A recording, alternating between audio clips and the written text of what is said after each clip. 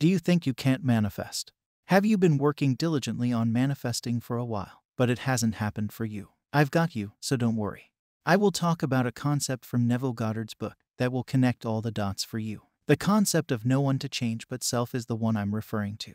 It is a very popular concept in the manifesting community, and only the die-hard fans of Neville know this. Also, all the people who are watching this right now and are aware of the law of attraction or have heard some bits about manifestation will greatly benefit from this, as I will take you to a deeper understanding of the law. So, as the name suggests, no one to change but ourselves, literally tells us that everyone and everything in this world is a mirror of ourselves. Metaphorically speaking, everyone that you meet in your reality is just like the mirror that you check every day before leaving the house. If your hair is not on point, what do you do? Do you use your hand and try to touch the mirror to change your reflection in it? Or do you speak angrily to the mirror to change the way you look? I know you don't do this. You simply just adjust your hair by yourself, and the mirror reflects that back to you. In the same manner, you don't apply force to change someone. You don't have to yell at them or manipulate them in order to achieve some results. You just have to change yourself, and the results will follow. Now, the next question that will appear in your mind is about what to change and how to do it. First, you need to understand who are you. This will give you a glimpse of yourself. Are you this body? Do you think that? No, you are not your body. This is your body. You control this body. A long time ago, your height was just the length of your arm. You can have a look at your childhood clothes that you saved as memories, and you will get the answer. Now, the next question is Are you your name? Are you Billy? Are you Sam? No, you are not that. That's your name that your parents gave you at the time when you came into this physical world. So, question yourself. This will help you to discover yourself, and you will reach a point where you understand that you are the awareness. You are the consciousness. You only get aware of something. Right now, you are aware of this video. In the next moment, you may start creating stories about what you heard today, and you will be aware of it. So, everything changes, but the awareness remains. It never changes. It stays, but it has no name. It is. That's why Neville said that before you say something, you say I am, and that is your true nature. I hope I got you to the depth of the spiritual law, and you might be getting goosebumps right now. So, what is the role of awareness? In my opinion, it just expands itself. It is expanding and expanding. It magnifies whatever is presented to it. So, if you get aware of an elephant, your mind will picture an elephant. It will start showing you pictures from your memory booklet about where you saw the elephant, facts about elephants, and it can even show you a friend to whom you lovingly say elephant. So you see, everything related to elephants pops up. Your friend is not an elephant.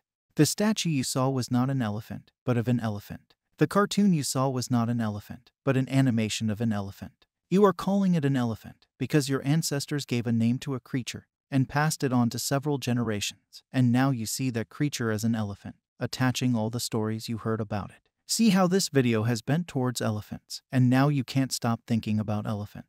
That is what your awareness does. Its work is to expand itself. If I start a conversation with you right now about a loving memory, you will start to recall it, and you will see people, things associated with it. If we talk about it for a few minutes, you will recall many of them, and suddenly, an emotion you call love will be experienced by you.